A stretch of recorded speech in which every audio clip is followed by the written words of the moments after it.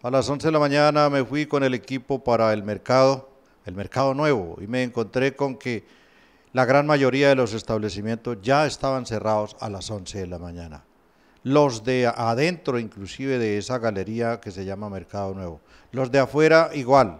La mitad de ellos ya estaba cerrado. Le pregunté a un miembro de la administración municipal y me dijo, tranquilo, lo que pasa es que el mercado todos los días cierra a las 8. Vaya.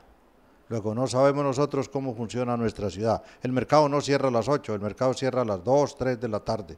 Aún a esa hora hay gente por la calle o en el mercado comprando. Me metí a un supermercado grande eh, que tiene color verde cerca del mercado y me encontré con que había una desolación total.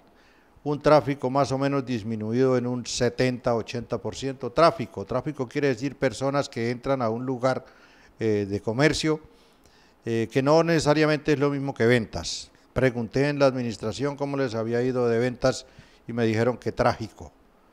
Trágico, definitivamente el tráfico fue nada y las ventas también fueron nada. Posteriormente me fui a la zona céntrica de la ciudad y me encontré con que la octava estaba deprimida.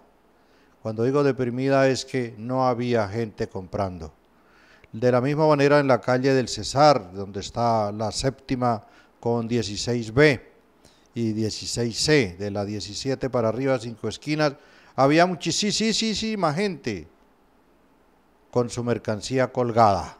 Es decir, los vendedores ilegales que estaban ocupando o que viven ocupando el espacio público sí tenían ahí su mercancía y ellos estaban ahí cuidándola, pero yo no vi gente comprando. Me bajé e ingresé a algunos de los establecimientos y vi lleno ese almacén, los vi llenos de personas que trabajan ahí.